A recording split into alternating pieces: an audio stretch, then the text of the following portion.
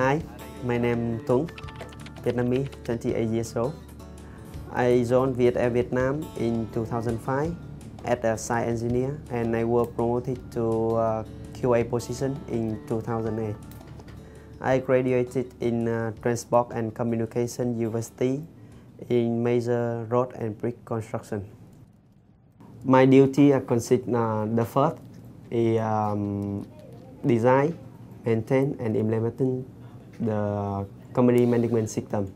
In that we have many things to say like uh, we make the procedure, we control all the procedure of company to comply with um, ISO requirement, legal and also the group requirement. I also had to conduct the site inspection regularly to check and have the site implement the company system. And also uh, that is a chance to hear the opinion or comment from uh, site personnel about their problem.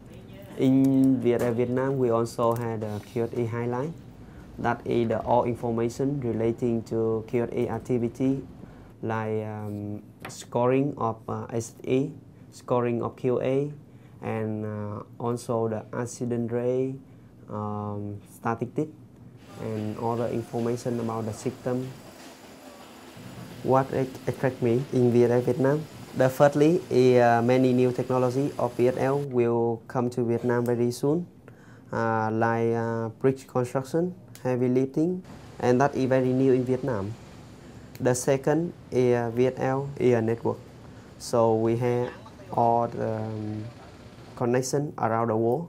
If we're facing with any problem, we can share the idea and we can get the feedback.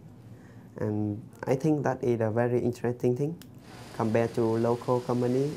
And the third is uh, the training system of VSL.